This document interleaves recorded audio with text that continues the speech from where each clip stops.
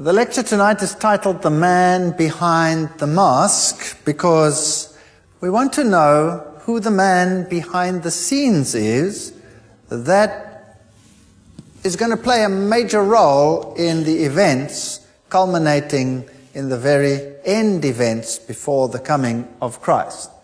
And the book of Daniel gives us a lot of information on this issue. And in fact, the book of Daniel, as we have said before, forms the template for the book of Revelation. And the prophecy that we will be going through tonight is a prophecy that acts as a key for the book of Revelation.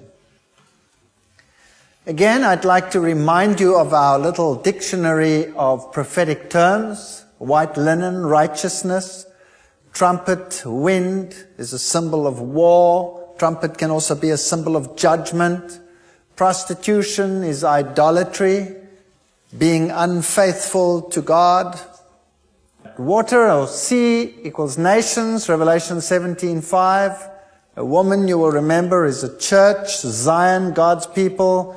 Tonight we're going to deal with beasts and kingdoms and we'll see the definitions there for ourselves.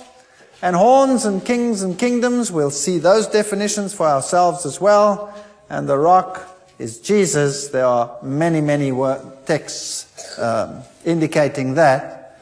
So let us have a look at this vision tonight of Daniel chapter 7. It's one of the most thunderous visions in the Bible. It's really staggering, and it's actually quite scary. In the first year of Belshazzar, king of Babylon, so this is right towards the end of the Babylonian um, kingdom, Daniel had a dream. So now it's not the king who has a dream, but Daniel who has a dream. And obviously, Daniel is going to get more detail than the king had in his previous vision, which was the sort of the ABC of prophecy. He had a dream and a vision of his head upon his bed, and then he wrote the dream and told the sum of the matters. So he's going to explain it. We don't have to guess about this issue. Daniel 7 verses 2 and 3. And I saw in my vision by night, and behold, the four winds. What was that? War of heaven strove upon the great sea. So there was war among the nations. And four great beasts, kingdoms, came up from the sea diverse from one another. They were different to each other. Daniel 7 verses 2 and 3. So now let's just make sure that we have this right. Bible prophecy symbols. Remember the sea is people, nations, multitudes. Revelation 17, 15. Wind, we said was war. Jeremiah 49, 36 and 37. Beasts or kingdoms. Daniel 7, 17. Let's read those texts to make absolutely sure. Revelation 17:15 The waters which thou sawest are peoples and multitudes and nations and tongues. So, here's the first symbol. Let's go to Jeremiah and see what we can see here. 49 verse 36 And upon Elam will I bring the four winds from the four quarters of heaven and will scatter them towards all those winds and there shall be no nation whither the outcasts of Elam shall not come. Verse 37, For I will cause Elam to be dismayed before their enemies. Now we call that Hebrew parallelism. Something is explained in one way and then repeated in another way, and in that way the symbols are explained. They are self-explanatory then. So the four winds which scatter Elam mean that Elam will be dismayed before their enemies. There will be wars. And before them that seek their life, and I will bring evil upon them, even my fierce anger, says the Lord, and I will send the sword, war, after them till I have consumed them. So there you have the parallelism, so that you can see that the sea equals the nations and the wind equals the wars. Daniel 7:17. The four great beasts are four computers in Brussels. Oh, no, it doesn't say that at all. It says the four great beasts are four kingdoms that will arise from the earth. So four kingdoms are going to come, and they're described as beasts. 1723, the fourth beast shall be the fourth kingdom upon the earth. So that's the biblical definition. We cannot make it anything other than what the Bible says it's going to be. So the four beasts are four kingdoms that shall arise upon the earth. And now we can look at the kingdoms and see where we are going. The first was like a lion and had eagle's wings. I beheld till the wings thereof were plucked and it was lifted up from the earth and made to stand upon the feet as a man, and a man's heart was given to it. Daniel 7 verse 4. Now the first kingdom that we had in Daniel chapter 2, the head of gold, Daniel identified it as what? Babylon. The first beast we see here is the lion with eagle's wings, which, by the way, was the symbol, one of the symbols of Babylon. And what is fascinating here is that this beast was made to stand upon the feet as a man, and a man's heart was given to it. This is a system, a kingdom that exalts the human above the divine.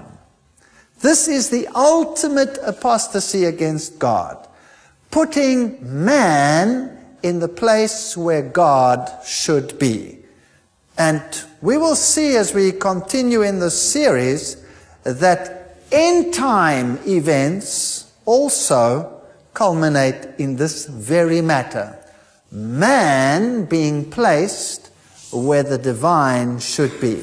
So Bab El, as I've already said, Babel, Bab is gate, El is God, portal to God, another way to God, another way other than the prescribed way which we find in the Bible. So here is this power that will arise, and it stands for Babylon. It parallels the head of gold, 605 to 539 BC. Let's have a look at Jeremiah for the symbolism. Jeremiah 4 verse 7. A lion has come out of his lair a destroyer of nations has set out. He has left his place to lay waste your land. The prophet is speaking to Israel, Jerusalem. Your towns will lie in ruins without inhabitants. And the lion he was referring to was the kingdom of Nebuchadnezzar. Babylon was going to come. And Jeremiah applies the symbol of the lion to Babylon. So the first kingdom is Babylon. Here's a symbol that was used in Babylon. You can see the lion with the eagle's wings, part of that symbolism. Here's another relief. And there again, you see the lions with the eagle's wings, symbols of Babylon. So archaeology confirms that that was the symbolism that was used. So we do not have to guess at what was to transpire. The Bible gives us a good start. Daniel chapter 2 started with Babylon. Daniel chapter 7 starts with Babylon. And suddenly another beast, replace that with another word. Kingdom. A second, like a bear, it was raised up on one side and had three ribs in its mouth between its teeth, and they said thus to it, Arise, devour much flesh. Daniel 7 verse 5. So this beast is going to come and it's going to devour the flesh of the previous one. It's going to make war and replace it. And it had three ribs and one side was higher than the other. Now what was the next kingdom in Daniel chapter 2? It was Medo Persia. Now we have a little bit more detail here. The Medes and the Persians weren't equally yoked. At first, the Medes were the prominent one and was raised up on one side. Later on, the Persians rose to be the equivalent and even higher. So it was not equal in uh, its power. So the next kingdom to come along would be Medo-Persia, three ribs in its mouth. There were three major wars associated with that conquest. So Medo-Persia represents, is the parallel of the arms of silver and the chest, and they ruled from 539 to 331 BC. And there are the thrusts that they made, the one into Lydia, conquering these portions of the Babylonian Empire, the other thrust to Babylon itself, and the third one down into Egypt, and they basically conquered the entire Babylonian kingdom with these three conquests representing the three ribs in their mouth. Daniel 7 verse 6, After this I beheld, and lo, another like a leopard, which had upon the back of it four wings, as of a fowl. The beast had also four heads, and dominion was given to it. That's fascinating. Daniel 7 verse 6. The next kingdom to come along, of course, was the Greek kingdom. And here it is described as a leopard. Remember the animals? There's a lion, there's a bear, and now there's a leopard. And four heads associated with this beast. How many heads on the first one? One head. How many heads on the second one? One head plus four heads. And uh, interesting story.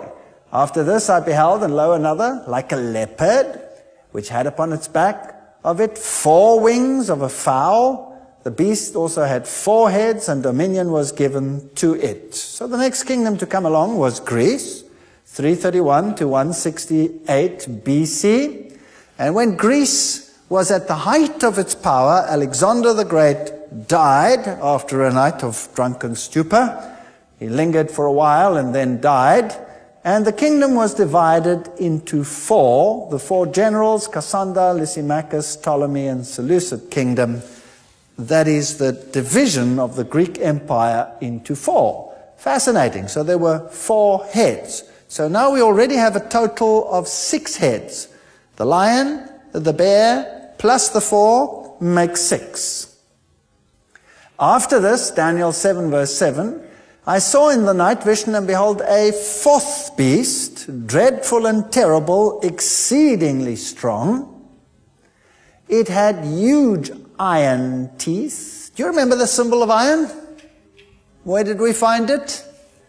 In Daniel chapter 2, and it was a symbol of the Roman Empire. Here we have the same symbolism.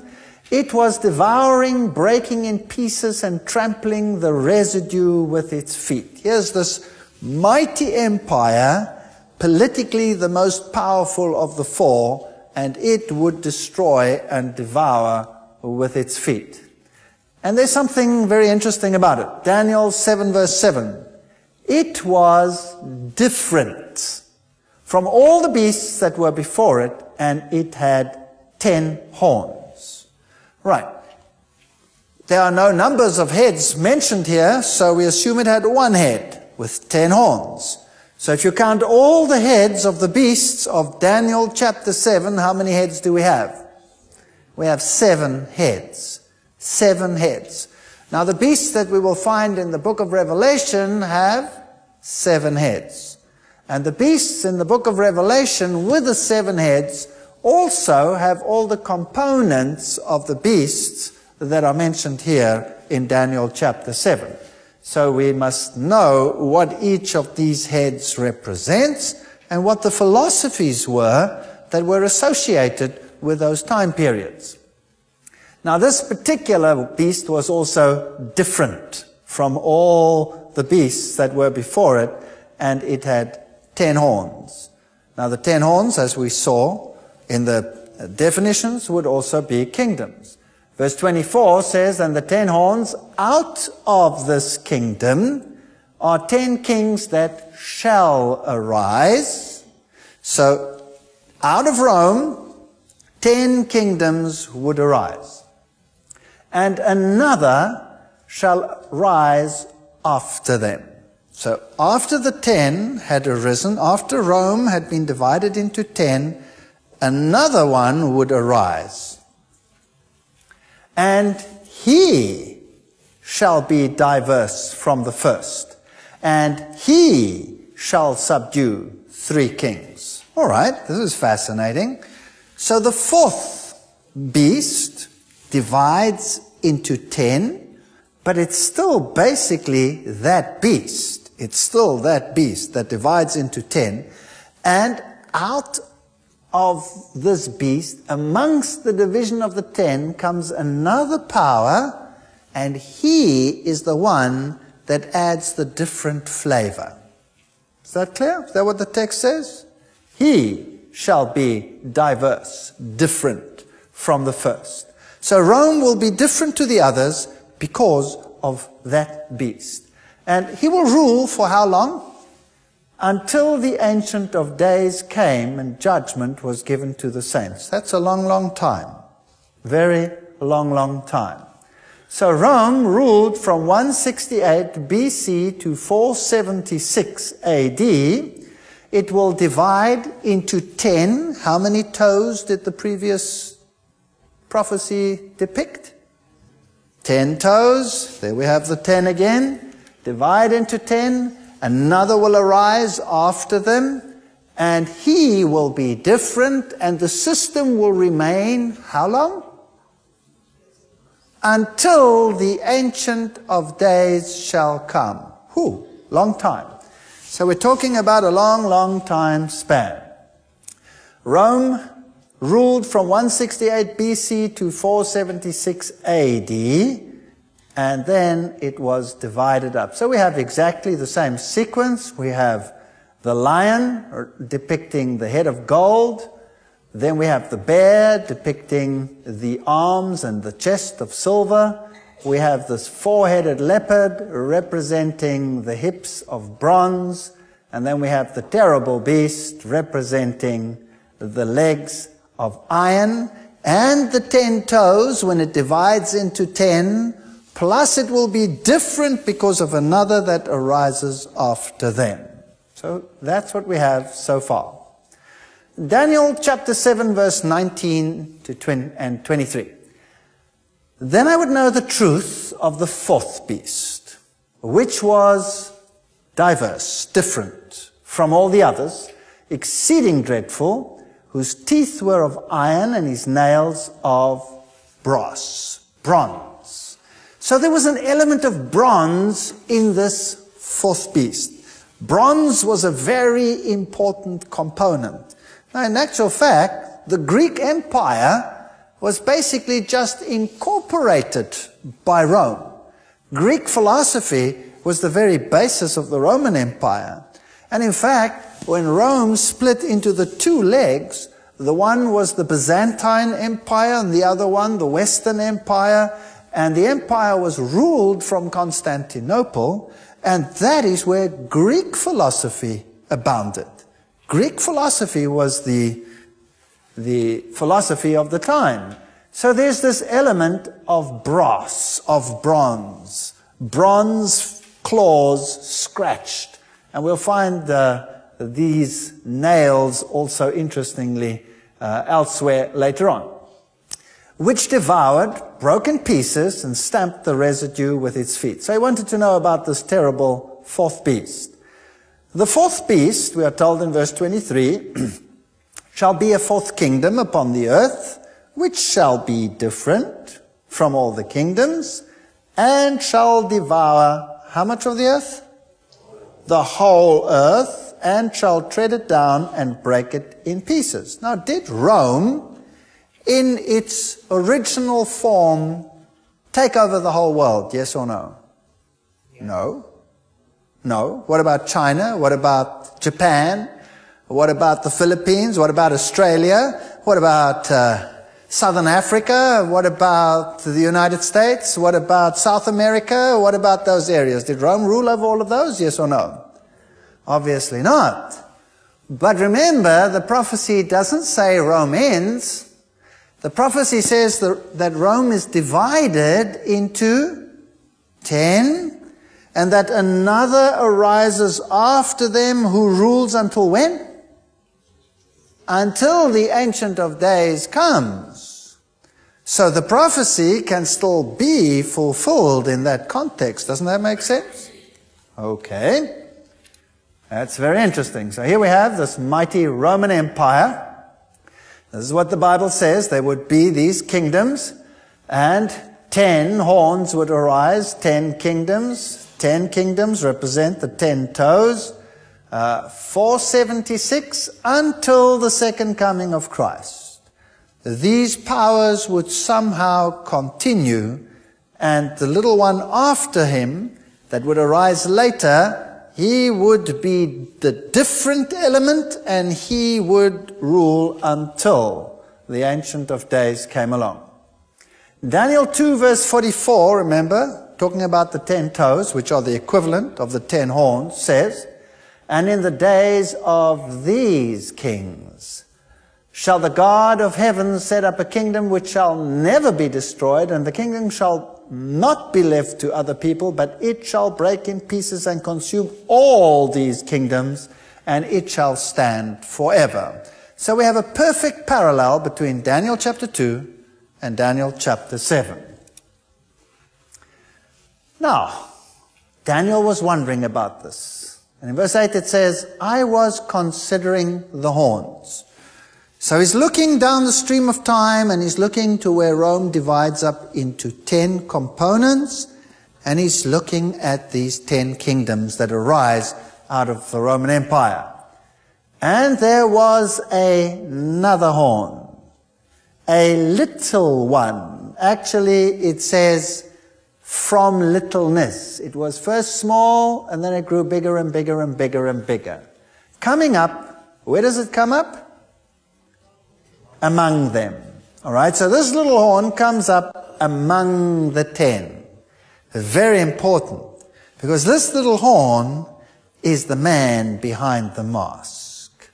And this little horn comes up amongst the ten. So the ten kingdoms are there and he arises amongst them. So what type of power is this? This is a European power because the ten horns arose out of the Western Roman Empire. So can we look for this little horn in the Middle East, for example? Yes or no? No. Can we look for this little horn in the United States of America, for example? No. Where do we have to look for him? there where he's supposed to arise. He has to come up among the ten. He comes, comes up among the ten. And all ten are there when he arises. Notice before whom three of the first horns were plucked out by the roots. So because of this power, three of the ten had to be removed. Does that make sense? I'm going to take three away. And who's going to take them away? Or as a consequence of whom will they be removed? This power. It's very important that we get him absolutely spot on because we don't want to make a mistake. And there in this horn were the eyes like the eyes of a man and a mouth speaking pompous words. Where did we find this symbolism earlier? This man symbolism? Babylon, remember? founded in Babylon. Here's the same symbolism. In this power, man will once again lift himself up above the Most High and take the place of the Most High. This is another Bab El, another portal to heaven. Man exalting himself above the divine with pompous words. He's speaking against God. All right, so now we have some history. He arises out of the division of the Roman Empire. Once it is divided into ten, then only does he make his appearance. Three of them are bothersome to him. They are eliminated under his influence. And then he rises up like a mushroom and sets man above the divine. That's what it says. That's what it says. And the ten horns out of this kingdom are ten kings that shall arise, and another, there he is, shall rise after them. Question. Does he arise out of the remnant of the Roman Empire or out of the remnant of the Greek Empire? Roman Empire. Roman Empire. Don't forget that. The stone also struck the feet. It struck which empire? The Greek or the Roman Empire?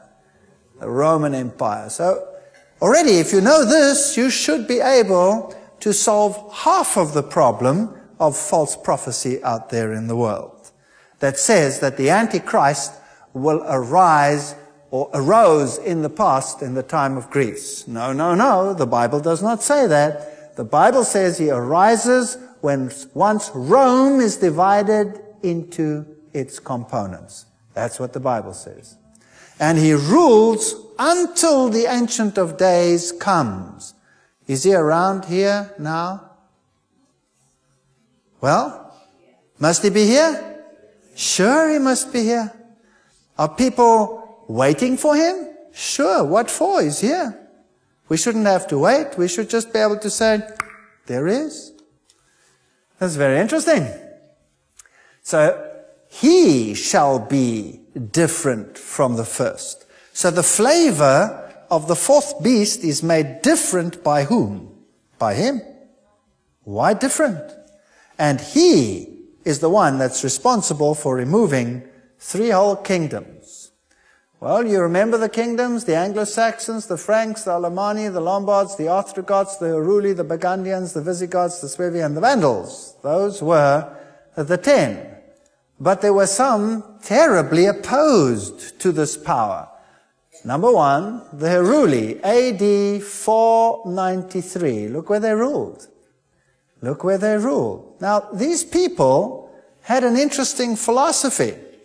And this philosophy differed substantially from the philosophy of this other little horn power. Now, unfortunately, we have no historic documents as to what the Heruli believed. Neither do we have any historic documents as to what the Ostrogoths believed. We have a little bit of what the Vandals believed, but none of their religious documentation. Why not? Because it has all been destroyed. So we only have information from those secondhand. Apparently, history tells us today that these three powers that were re removed were Arian in their view. In other words, that they taught that Jesus was not God and therefore had to be removed. But there is really no evidence for that whatsoever other than second-hand information by the very power that destroyed them. There's far more interesting evidence that these powers that were destroyed actually had a different gospel a gospel that was derived from Palestine and was a much truer reflection of the biblical than any other. So is it perhaps possible that they had a Christianity derived directly from the original source and that they therefore had to be removed? It's a distinct possibility. There's quite a lot of research that has been done on it, and uh, I'm not averse to that idea at all. So they were destroyed 493 AD. Now, if this creature, this fourth one, uh, this new power arose amongst them, then he must have arisen already before 493. The next one to go were the Vandals, AD 534. They plagued the Roman Empire and they subjected large parts of the religious culture of, culture of the Byzantine and Roman world. They subjected it ferociously. And so eventually the Vandals were also destroyed by the armies of the Eastern Empire. And then came the Ostrogoths. They were the last ones. The Ostrogoths ruled until 538 AD. And they occupied first this area and later occupied and controlled the whole of the ancient Roman capital and surrounding areas. And the Ostrogoths also had a gospel derived, as we said, from ancient Palestine. So they had to be removed. They were tolerant of all other religions, but they were a thorn in the flesh of the little horn power, and eventually they were destroyed with the help, amongst others, of the Franks up here, who made an alliance with the kings of Constantinople, with the Caesars. And so in 538 AD, the opposition to the little horn power disappeared and it rose like a mushroom. So the Alemanni, the remnant of the ten, you know, the Germans today, the Burgundians, the Swiss, the Franks, the French, the Lombards, the Italians, the Saxons, the English, the Suevi, the Portuguese, the Visigoths, the Spanish, and the Heruli, the Vandals, and the Ostrogoths are eliminated, totally destroyed. In fact, these were the on, not the only ones that, uh, waged war against, though. No, no, no. The Visigoths, for example, probably being very much related to the Ostrogoths, had similar sentiments, and there were many, many wars fought and much subjugation over here uh, before these came in line with the thinking of the little horn power as well.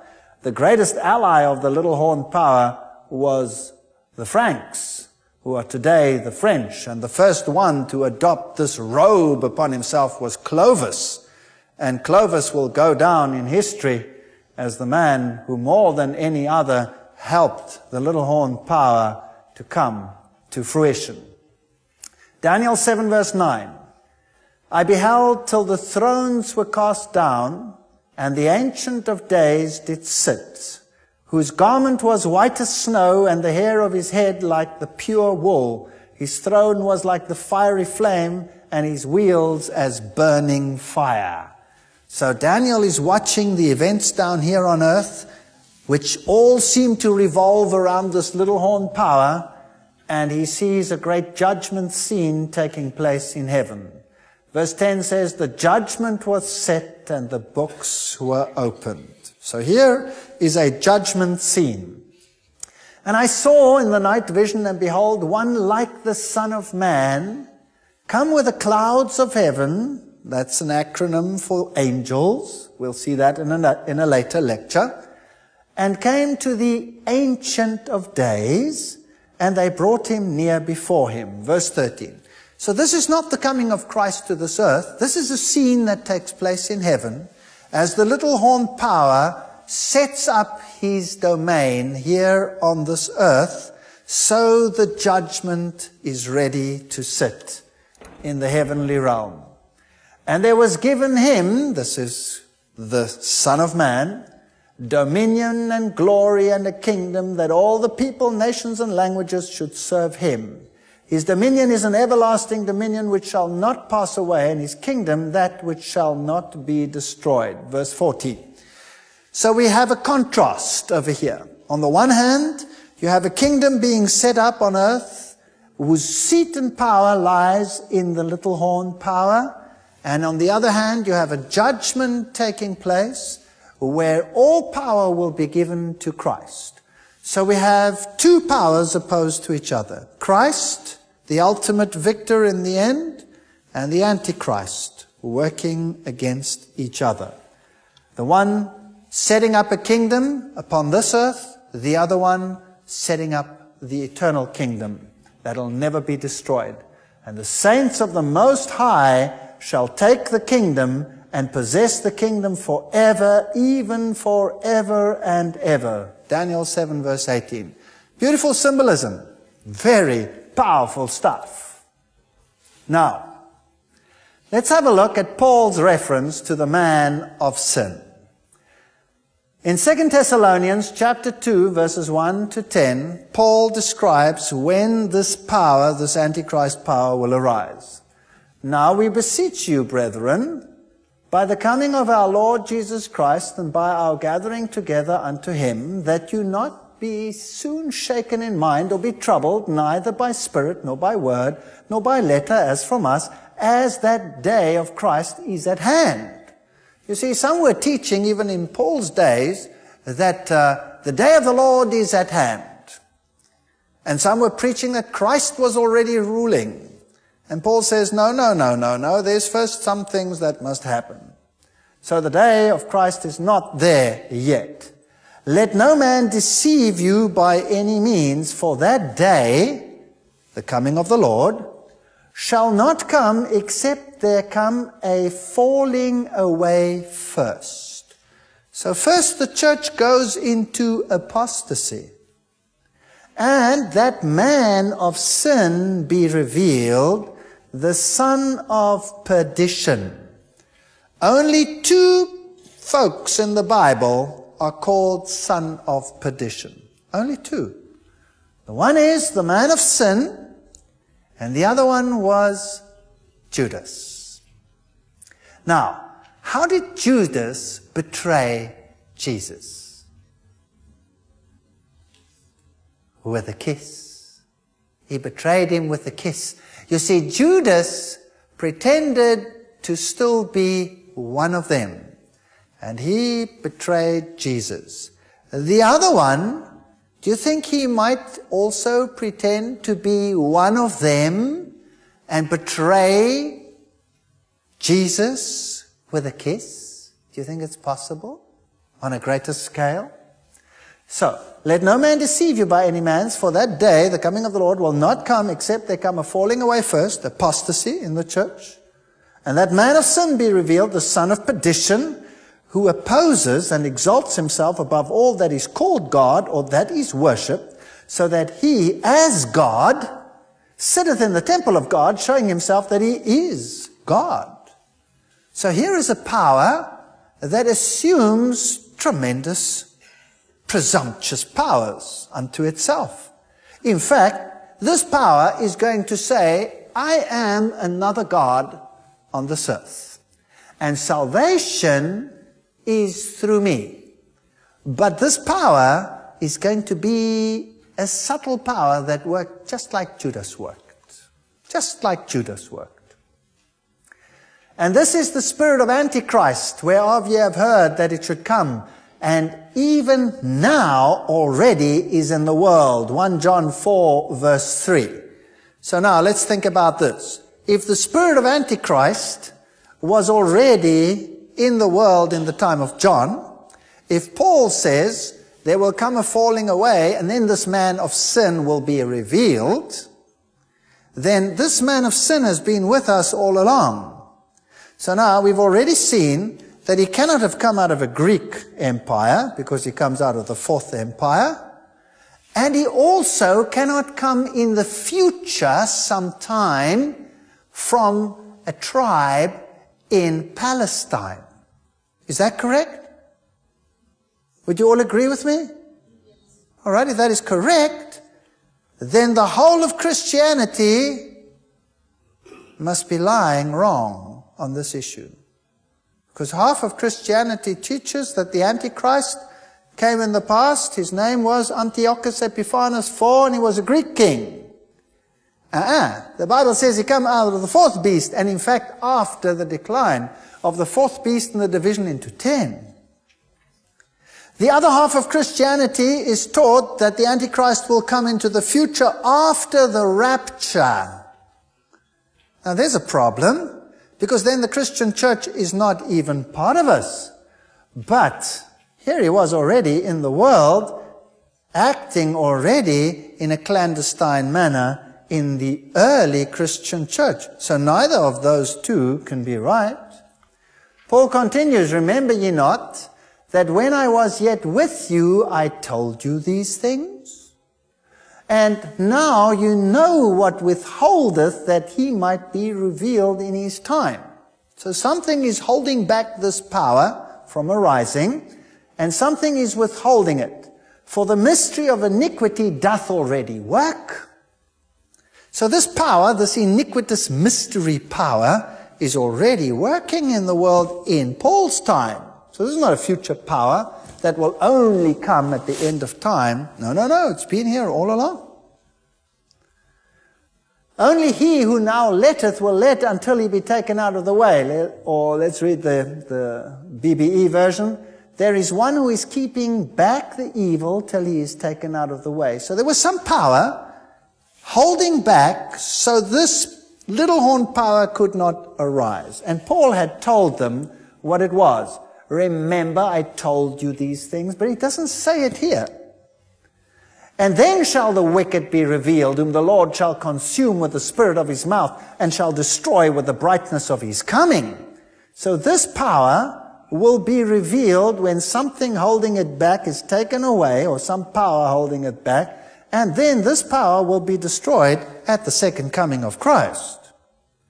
Even him whose coming is after the working of Satan, with all power and signs and lying wonders. This is an interesting story. And with all deceivableness of unrighteousness in them that perish because they received not the love of the truth that they might be saved. Is it possible that this system will deceive the world into accepting a form of the gospel which is based on human values and not on divine values? And on human criteria and not on divine criteria? Is that possible? Here we have a point on which Paul, we read in Romanism and the Reformation by Grattan, Paul affirms the existence of knowledge in the Christian church. So the early church knew, he says, what the hindrance was. The early church tells us what it did know upon the subject, and no one in these days can be in a position to contradict its testimony as to what Paul had by word of mouth only told the Thessalonians. It is a point on which ancient tradition alone can have authority. Modern speculation is positively impertinent on such a subject. Today, people are saying, well, what could have been holding it back? Maybe it's the Holy Spirit holding it back. Why should the Holy Spirit be holding it back? There was a power holding it back, and when that is removed, the Antichrist will arise, and he will remain until the Lord comes. So, what did the early church fathers know? What did Paul told them verbally? What did he told them? But what did he not write down? Well, let's go to the early church fathers. Tertullian on the resurrections, Christian apologists of 200 AD, he says, he who now hinders must hinder until he is taken out of the way. What obstacle is there but the Roman state? The falling away of which by being scattered into ten kingdoms shall introduce Antichrist. So that's what the early church fathers believe. That when the Roman state goes, Antichrist will be revealed. Is that biblical according to Daniel chapter 7? Absolutely. When Rome divides into ten, when Roman state disappears, Antichrist will be revealed. That's what the early church fathers believe. Here's another one. John Chrysostom, homily 2, Thessalonians 2. He was Bishop of Constantinople, 390. He says, Only there is one that restraineth now until he be taken out of the way. That is when the Roman Empire is taken out of the way, then he, Antichrist, shall come. Believe the same thing. Here's another one. Edward Elliott, who writes a commentary on the Apocalypse in 1862, he says, We have the consenting testimony of the early fathers from Irenaeus, the disciple of St. John, down to Chrysostom and Jerome to the effect that it was understood to be the imperial power ruling and residing at Rome. So it's actually quite simple.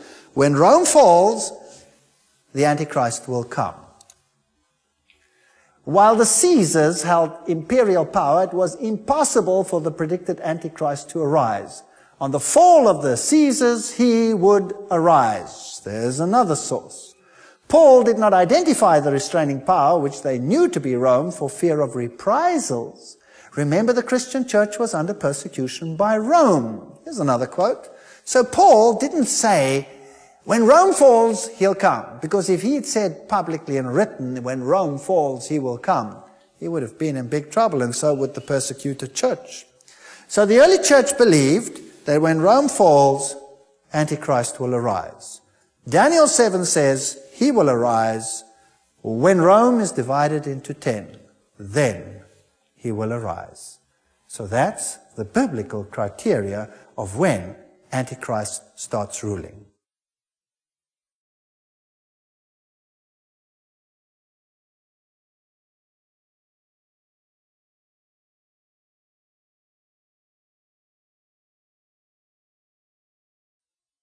We're going to talk now about this little horn power.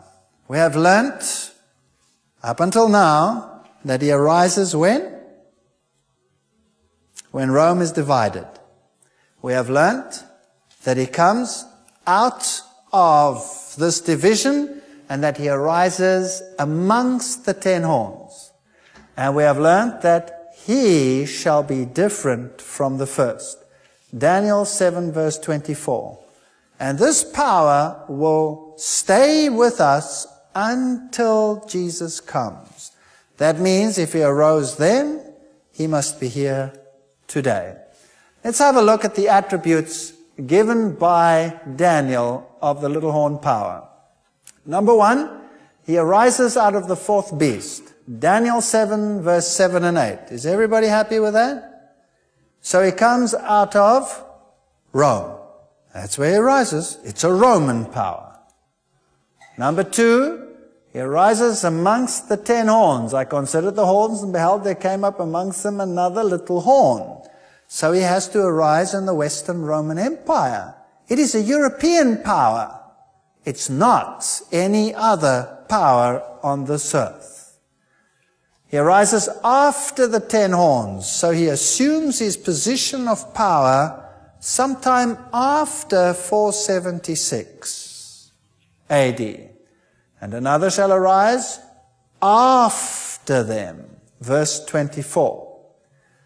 He is different from the other horns. He shall be diverse from the first. Verse 24. That's the fourth criterion.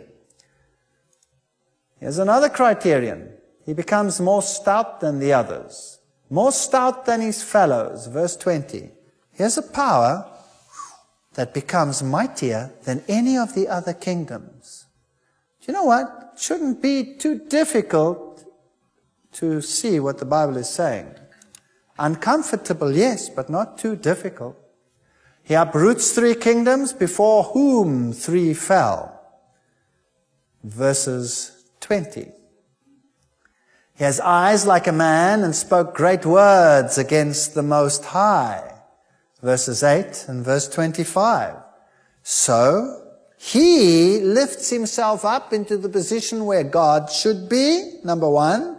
He replaces divine precepts with human precepts, and he maps out the path to heaven through the power of man and not the power of God. This is a serious, serious issue. And he speaks great things against the Most High. We'll have to look at that. And then he'll make war against the saints. He'll wear out the saints. Verse 25. So this power must have been a persecuting power that fought against those who said, salvation is through the power of God alone. And then another criterion. He'll change times and laws. Verse 25 says he'll think to change times and laws. That's fascinating. Now, which times and which laws do you think uh, God would be concerned about? Would God be concerned about silly little human laws? No. It must be modification of divine law, and the times must be changing the times which God had set. For example, God set the time and it shall be evening, and it shall be morning the first day, and it shall be evening, and it shall be morning the second day. From evening to evening went the day. That's the first time. Then there were feasts and festivals and times that were set. Would this power change all of that?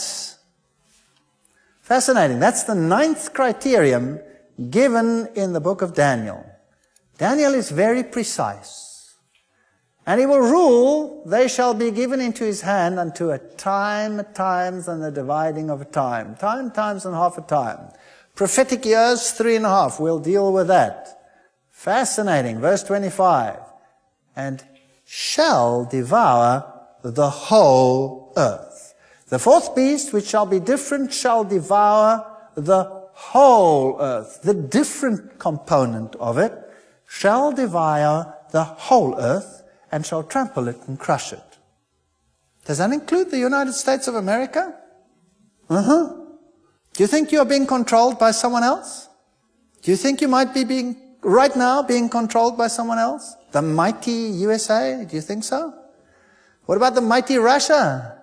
What about any mighty nation? What about China? Do you think they might be controlled right now by someone else? And it exists till the end, until the Ancient of Days came. Verse 22. Now, I'm not making this up. This is in the book of Daniel. You can get the book of Daniel yourselves and you can read it. And the final criterion, his dominion will be taken away at the end of time. But the judgment shall sit and they shall take away his dominion to consume and to destroy it unto the end. The Bible says he shall be destroyed by the brightness of the Lord's coming. So no earthly power is going to take his power away. God himself is going to intervene. 13 criteria.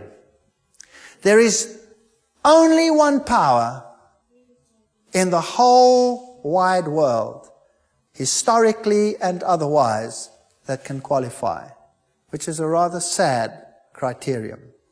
Now, I don't want to upset anyone here this evening, and I don't want to hurt anyone's feelings.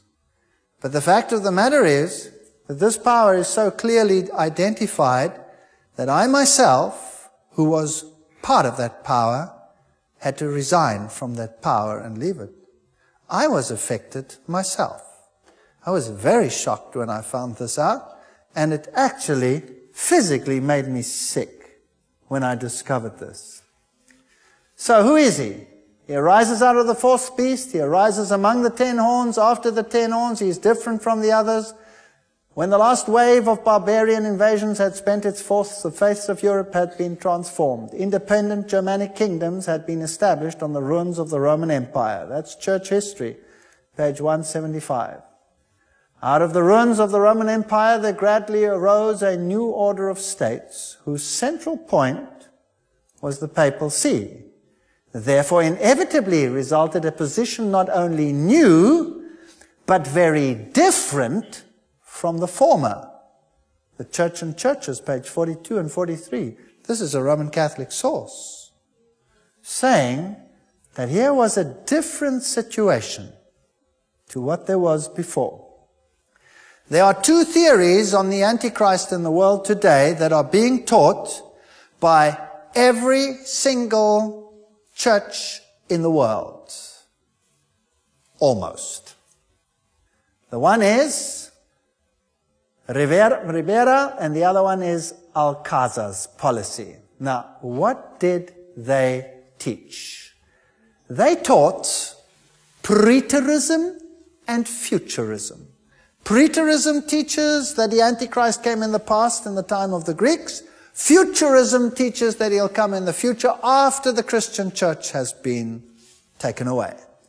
And both of these doctrines are not biblical because both of them violate Daniel chapter 7, Daniel chapter 8, the whole book of Revelation. They violate every single biblical principle, all of them. And who were Ribera and who was Alcazar? Well, the two of them were Jesuits. So these are doctrines set into the world after the Reformation by the Roman Church itself to take away the emphasis from the papacy and put them in two different directions. Historian C.C. Eckhardt, when the Roman Empire had disintegrated and its place had been taken by a number of rude, barbarous kingdoms, the Roman Catholic Church not only became independent of the state in religious affairs, but dominated secular affairs as well. The papacy and world affairs, page one. So here was a horn, a kingdom that became more stout than the others. It dominated them. It qualifies. Historian Thomas Hobbes says, if a man consider the origin of the great ecclesiastical dominion, he will easily perceive that the papacy is none other than the ghost of the deceased Roman Empire sitting crowned upon the grave thereof. Okay. So Rome is not really gone. It's called the Roman Catholic Church, isn't it? So Rome is not really gone at all. Leviathan, page 457. He shall be different from the first. We saw that Rome says, yes, we're different. Because now it is a religious power that wields political clout. More stout than his fellows, Daniel 7:20. He would be mightier than the other kings. Did the kings of Europe bow down to the papacy? Yes, sometimes yes, sometimes no. If no, eventually they were subjugated and did bow down. Eventually, they did have to come, like Frederick of Germany, and stand barefoot in the snow, waiting for a reprieve to get his kingdom back. The Most Holy Councils, volume 13, Rome says, we define that the Holy Apostolic See and the Roman Pontiff holds the primacy over how much of the world? The whole world. That's interesting. The vicar of the incarnate Son of God, anointed high priest and supreme temporal ruler, the Pope sat in his tribunal impartially to judge between nation and nation, people and prince, sovereign and subject. Henry Cardinal Manning, temporal power of the vicar of Jesus Christ. So did they say that they were in control of all the other kingdoms? Yes or no? Yes, they claim so themselves. Keys of this blood, Pope John Paul II versus Russia and the West for control of the New World Order. Malachi Martin, pontifical professor at the Gregorian University in Rome itself. He's saying it, not me. Uprooted three kingdoms, then I would know the truth of the fourth beast, which was diverse from all the others, and of the ten horns that were in his head, and of the other which came up, and before whom three fell.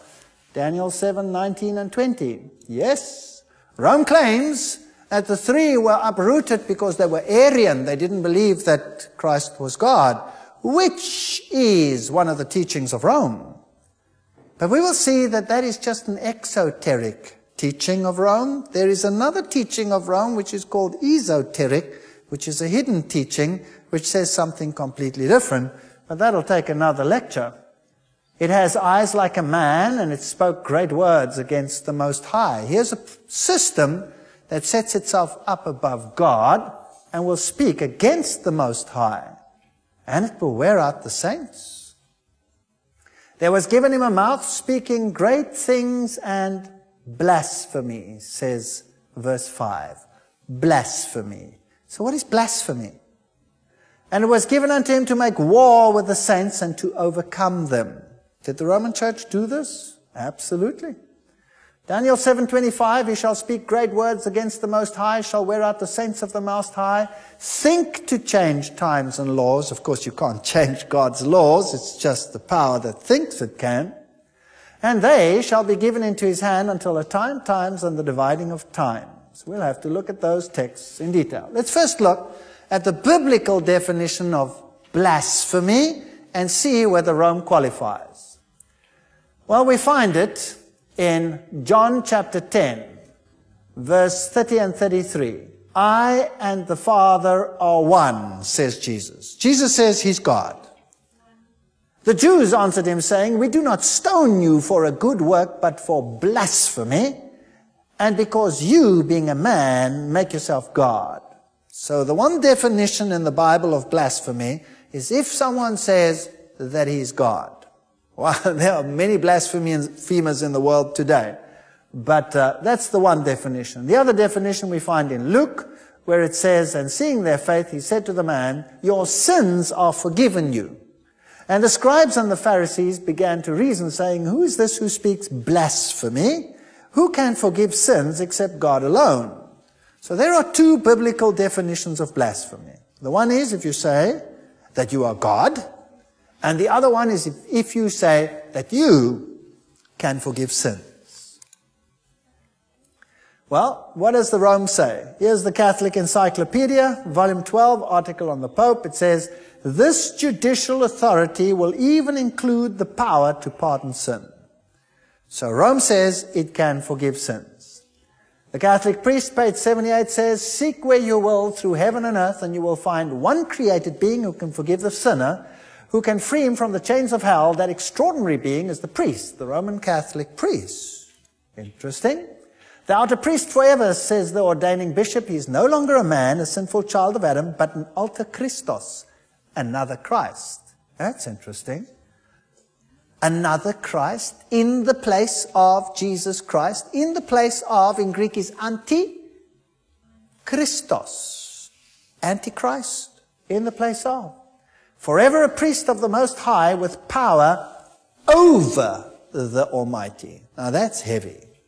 To say that you have more power than God. The Pope is not only the representative of Jesus Christ, but he is Jesus Christ himself, hidden under the veil of flesh, the Catholic National, July 1895. So Rome has always claimed that she is in the position of God. God himself is obliged to abide by the judgment of his priests and either not to pardon or to pardon, according as they, the priests, refuse or give absolution. The sentence of the priest precedes and God subscribes to it. Dignities and Duties of the Priest, Volume 12, page 27. Wow. So the Catholic Church says who is saved and who is lost, and God hasn't got a hope. He has to abide by their judgment. And if they say no, God can't say yes. So who's mightier, they or God? They are. Is this blasphemy? Yes or no? This is blasphemy of the highest order. Cardinal Bellarmine says, all names which in scripture are applied to Christ by virtue of which it is established that he is over the church, all the same names are applied to the Pope. That means he assumes the place of God. So he qualifies on that count. Given in Rome from our palace the 10th of February 1817, the 15th jurisdiction of the Most Holy Pontiff and Father in Christ and our Lord, our God, the Pope Leo the 12th. So the Pope had himself crowned as God. We hold upon this earth the place of God Almighty, the great ecclesiastical letters of Pope Leo. Did you know that when the papacy today writes an encyclical, it always signs the encyclical, Pope John Paul II, in other words, does this, given by us, capital letter, in our capital letter pontificates. Interesting. Because God says, let us make man in our image, capitals. So the papacy takes the prerogative and to this day, by their writing, they claim to have and be the power of God. So Rome qualifies. The Most High Council we define that the Holy Apostolic See and the Roman Pontiff hold the primacy over the whole world. Now this power would eventually take control of the whole world. Does Rome really control the world? That's ludicrous. Do you really believe that? Think it's possible? Well, we're going to have a lecture tomorrow on secret societies. I wouldn't miss it if I were you. Thomas Aquinas wrote, secular power, this is the great Catholic philosopher that is quoted by John Paul II more than any other philosopher of the Roman Catholic Church. He's, he writes, secular power is subject to the spiritual power, as the body is subject to the soul. And therefore it is not a usurpation of authority if the spiritual prelate interfere in temporal things concerning those matters in which the secular power is subject to him. So everybody is subject to Rome. The Council of Trent declared all temporal power is his. The dominion, the jurisdiction, and the government of the whole earth is his by divine right. All rulers of the earth are his subject and must submit to him. That was the Council of Trent. That's the one that ended the attack of the Reformation. Here we have a lady who said, uh, Jesus said, I am the good shepherd. And this lady said, it's like being with God when she saw John Paul II. Did she wear out the saints? It was given him to make war with the saints and to overcome them. Well, again, Thomas Aquinas said that convicted heretics should be put to death just as surely as other criminals. The Catholic Church is a respecter of conscience and of liberty. Nevertheless, when confronted with heresy, She has resource to force, to corporal punishment, to torture. She lit in Italy the funeral piles of the Inquisition. Catholic professor Alfred Woodard, the Catholic Church, Renaissance Protestantism. Yes, she admits it. Here is the Chiesa del Gesù, which is the seat of the Jesuits. Here is the Jesuit oath that is made, which basically says that they can get rid of any heretical king in the entire world, any commonwealth of governments that does not want to subject itself to the papacy, and anybody who does not submit to the authority of the Roman pontiff can be safely destroyed. So the church ruled as the woman ruling over kings. That is how she depicted herself throughout history. The Inquisition, well, the Inquisition tells us that she wore out the saints, the Tower of London, the Hague in the Netherlands. What is the definition of heresy? Greek, heresis, choice. Deciding for oneself what one shall believe and practice. That's heresy. So who must decide for you? Rome must decide for you what you must believe. And if you do not fall in line with this, well, then you must be eliminated. You must be eradicated. Well, we are heading for some thunderous times in the world that we live in today. These are some of the instruments of torture that they used.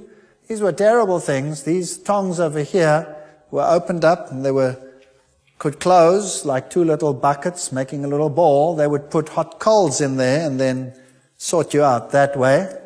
They would uh, put these shackles around you. These were put around the feet. Notice the pins on the inside. They would go right into the bone. They were so wicked. This one over here went around the neck and then they would tighten the screw, and of course it would push right here into your Adam's apple. And in fact, uh, General Franco, in the 1970s in Spain, still used that instrument of torture. Can you believe that? How primitive can you get? And the stocks, and the thumb screws, and this terrible thing over here, where they would hoist you upside down with your hands behind your back and lift you up this way high above and hang you from a ceiling. And then they'd attach this ball on a high shelf, this heavy stone to your feet, roll it down and rip your arms right out. That was pretty mean the way they did. These are, are representations of the pyres, the stakes of the Inquisition, and they killed literally millions and millions of people.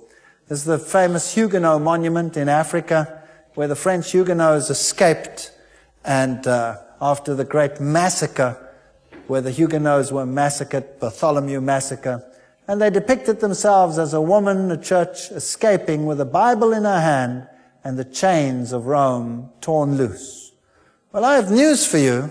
This woman is once again chained and every other woman on the planet, talking of churches, is once again chained.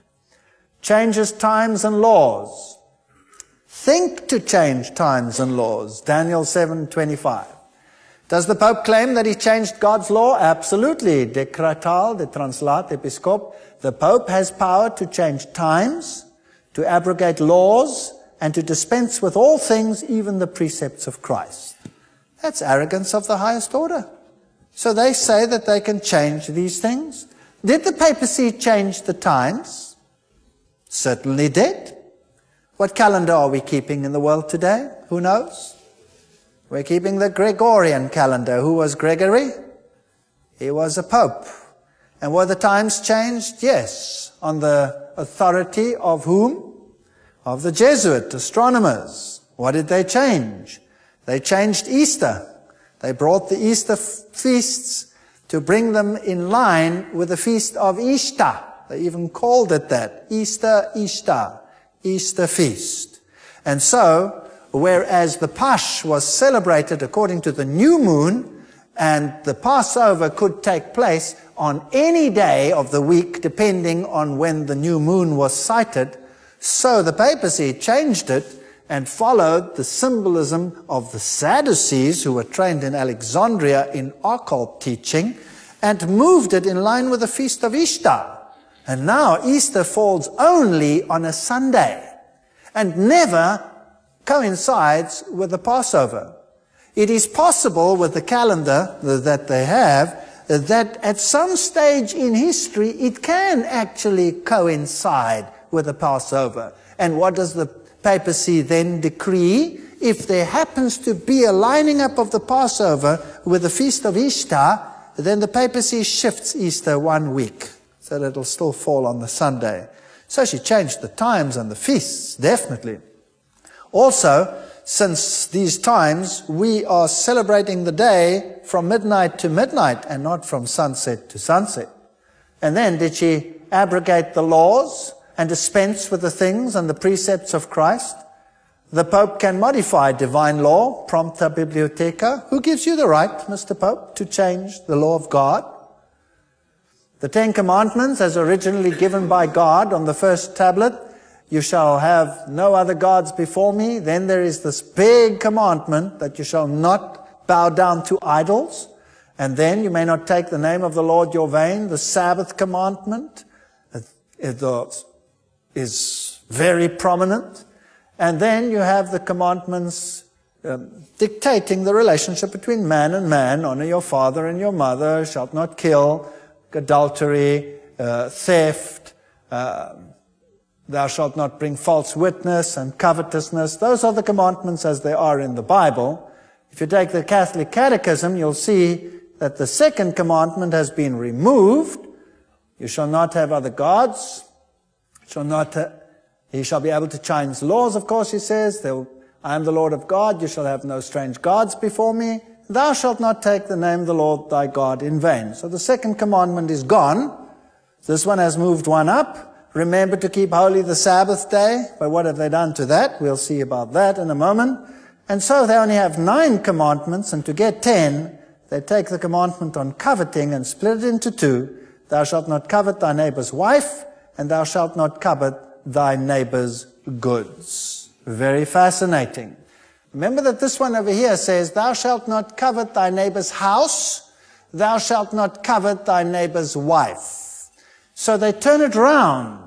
Isn't that fascinating? They even have the gall to turn it round, as if they had the right to do that. The Catholic Encyclopedia says, the church, after changing the day of rest from the Jewish Sabbath, or the seventh day of the week to the first, made the third commandment refer to Sunday, because the second one was gone now, as the day to be kept holy as the Lord's Day, Catholic Encyclopedia.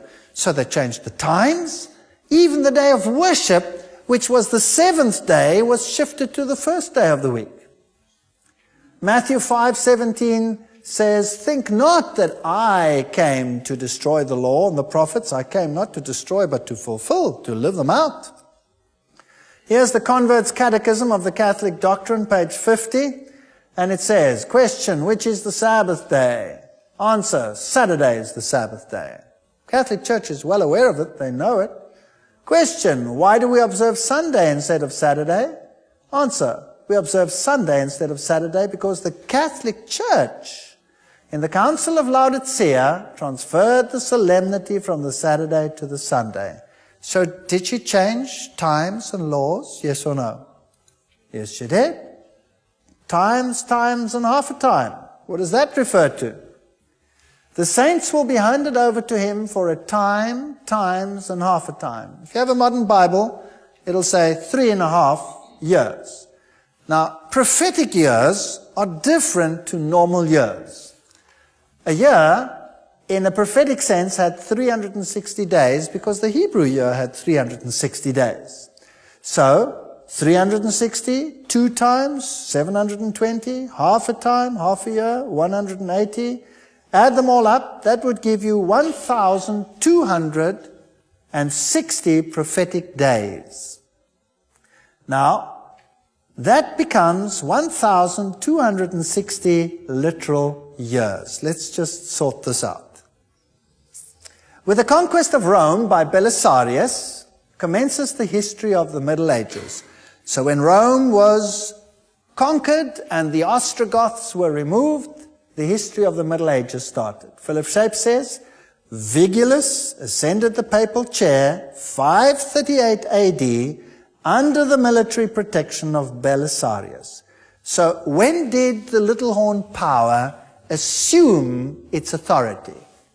The answer is 538 AD, because the last of the little horns, or of the horn powers that kept him back were the Ostrogoths. They were removed in 538 AD, and Vigilius ascends the papal chair. So the dominance of Rome begins. Another shall arise after them, the ten kingdoms, established AD 476. After them, AD 538, papal rule commences. According to a decree which was issued by Justinian, Emperor of Rome, who said that the Pope will be the corrector of heretics and the ruler of all the churches. Now, 538, if you add 1,260, you come to 1,798. 1798. What happened in 1798? Berthier entered Rome on the 10th of February 1798 and proclaimed a republic. Half of Europe thought Napoleon's veto would be obeyed and that with the Pope the papacy was dead. So exactly according to prophetic time, and the Bible tells us to take a day for a year, exactly according to that time, when the clock struck 1798, the temporal power of the papacy was halted for a while. So 1260 year time prophecy. 476 AD, the ten kingdoms are established. 538 AD, the bishop officially recognized as the ruler of all the churches. 1,260 years of time prophecy brings us to 1798 fulfilled. His domain and dominion ended. 1,260 years. It was based on 1,260 days, which is the same as three and a half prophetic years, but it's also the same as 42 months. 42 times 30, that was the biblical month. 42 times 30 is also 1,260. Now in Revelation 12, verse 6, we read, a thousand two hundred and three score days. That's 1,260 days. In Revelation 12, 14, a time, times, and half a time. See how Revelation picks up the theme of this power and brings it into the heart of Revelation? Here they all are. Daniel 7.25, time, times, and the dividing of time, referring to this power. Daniel 12.7, time, times and a half. Revelation 11.2, 42 months. Revelation 11.3, 1260 days. Revelation 12.6, 1260 days. Revelation 12.14, time, times, and half a time. Revelation 13.5, 40 and 2 months. All of these referring to the same power. Notice how many there are. One, two, three, four, five, six, seven. The Bible is fantastic. What's it telling us? That this power would set itself up as another God. Because seven is the number of God. And it would assume all these characteristics. And I saw one of his heads as it were wounded to death, and his deadly wound was healed. Rome receives a wound in the form of the little horn power, but it's going to be healed. And all the world wondered after the beast. Revelation 13:3. So the same power that ruled over the saints for 1,260 days receives a mortal wound, 1798, will rise again, and the whole world will be subject to it. That's what the Bible says. And power was given him over all kindreds and tongues and nations. Does that include the United States? Does that include my country? Yes, it does. Ronald Reagan and the papacy made a holy alliance. That's a fascinating story. We'll have to go into that into a little bit more detail. And so, even the mighty United States subjected itself to this power. Here we have a signal picture between Gorbachev and the papacy. This is the mighty Soviet Union at that stage, greeting and acknowledging this power. It is a big idea, a new world order where diverse nations are drawn together in a common cause. Only the United States has both the moral standing and the means to back it up. At the Second Vatican Council, this was in 1962, document, it states, it is our duty, therefore, to strain every muscle in working for the time when all war will be completely outlawed by international consent. This is the Second Vatican Council. This goal undoubtedly requires the establishment of a universal public authority acknowledged as such by all and endowed with the power to safeguard on behalf of all security, regard for justice, and respect for rights. Pope Paul VI wrote in the section entitled Towards Effective World Authority, he wrote, this international collaboration on a worldwide scale requires institutions that will prepare, coordinate, direct it until finally there is established an order of justice which is universally recognized.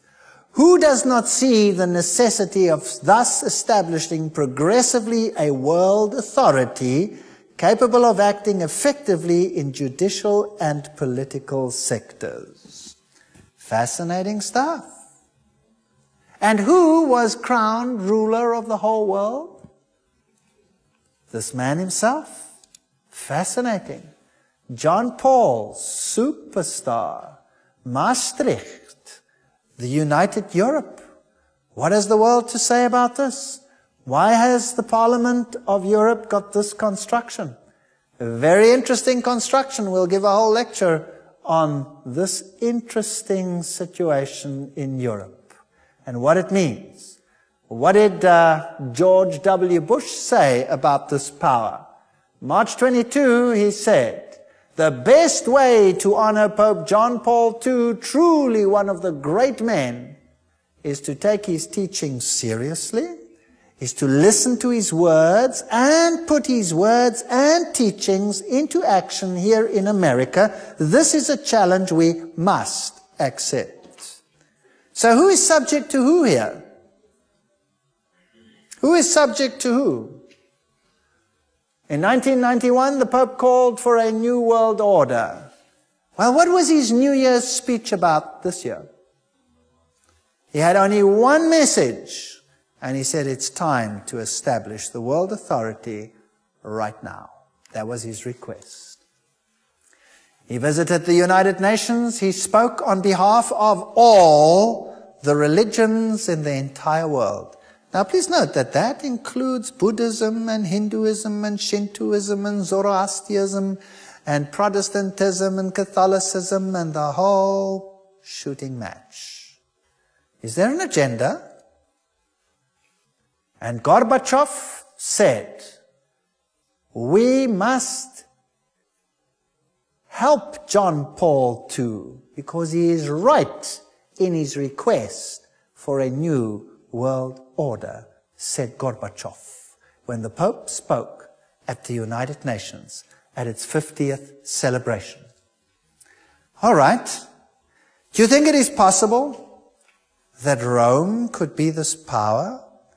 That the Vatican could be this power? But surely the Vatican looks like a noble Christian power trying to set the right values into the world. Doesn't it look like that? Remember the Bible says, man of perdition. Judas looked like one of them, but he betrayed Jesus with a kiss. Here is a power that looks like one of them, but could just betray it with a kiss. We'll have to go into the secrets of the secret societies to find out what this is all about. What did the reformers teach on this power? Many of the great Christians of the Reformation and post-Reformation times shared this view of prophetic truth and identified Antichrist with the Roman papacy. Among the adherents of this interpretation were the Waldenses, the Hussites, Wycliffe, Luther, Calvin, Zwingli, Melanchthon, the Baptist theologian John Gill, the martyrs Cranmer, Tyndale, Latimer, Ridley. All of them said Rome was the Antichrist. Let's see what Martin Luther said. Luther said, I know that the Pope is Antichrist and that his seat is that of Satan himself. The papacy is a general chase by command of the Roman pontiff for the purpose of running down and destroying souls. That's pretty straight talk.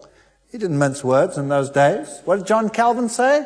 He said, we, recall, we call the Roman pontiff Antichrist. Interesting. What did John Wesley say? He said, he is in the emphatic sense the man of sin as he increases all manner of sin above measure. That's what the reformers said. What did John Knox say? He said that the Pope should be recognized as the very Antichrist. Well, the reformers didn't want anyone to forget. So in Nuremberg, which was the seat of Protestantism, on the town hall, they had this sculpture presented over the two doors. And if you look over here, you'll find something interesting. You'll find the prophecy we dealt with tonight. On the one side, you have a lion with eagle's wings, and they have a ruler next to him, and they tell us who he is. It is Nebuchadnezzar. So who did the reformers say the lions with eagle wings stood for? Babylon. If we go to the other side, you have a bear with three ribs in his mouth. And they've put a king next to him, a mighty king, to tell us who they believed it represented. And who was it? This is Cyrus the Great. So hereby they are saying it was the Medes and the Persians. The reformers didn't mince words. They put it in stone. You can go and see it today. If you go to the other side, you'll see the other door. That's what it looks like. Let's go a little bit closer. There is a leopard beast with four heads, and who do they put next to it? To say who they believed it was? That's Alexander the Great. So they identified it with Greece. And on the other side is a terrible beast with ten horns, and they have a mighty emperor there, and who is he? Is Julius Caesar. So who did they say it was? They said it was Rome. And then over here, they have this strange little structure coming up amongst them. And it has the face of a man, and it has this strange little crown. They made no bones as to who it was. They said it was Rome. Who teaches that today still? Nobody? Nobody teaches it anymore? Do the Christian churches teach it? No, they don't. In fact, they have all joined the ecumenical movement, which says, let's again accept Rome as our spiritual leader. All the Christian denominations are part of the ecumenical movement. And all of them are saying, put the chains back on. Rather sad.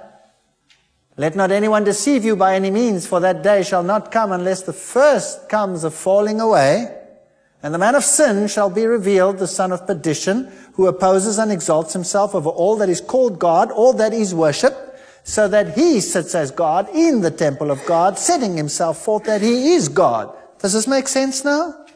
It certainly does. If it were possible, they shall deceive the very elect. The garb of Christianity is so perfect that we do not see the core of occultism behind it. Who really runs the show there? Who is behind it? What power is yielded in Rome? Who is the Black Pope? Who is Peter Hans Kolvenbach at the moment? Who is that? What is his role in the world? Would you like to know?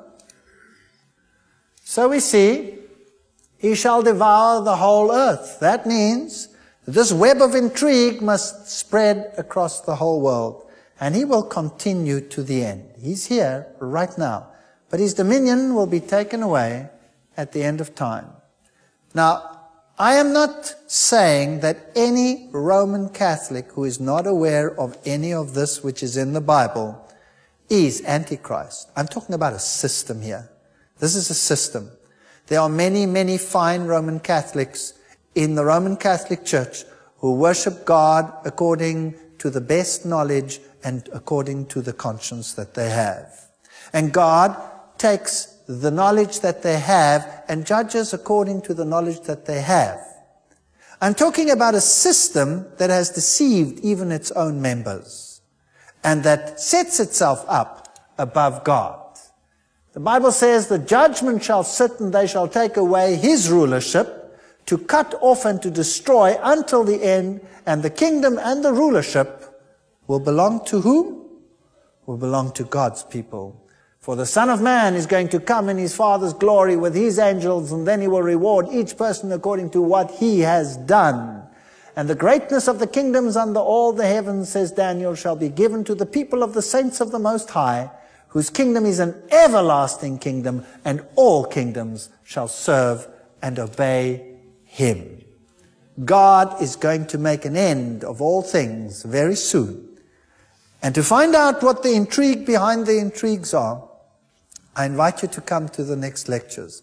Even if you were upset tonight, it's very important that you come to the next lectures because this whole plan will be unfolded as we go into the book of Revelation. May the Lord be with you and help you and guide you.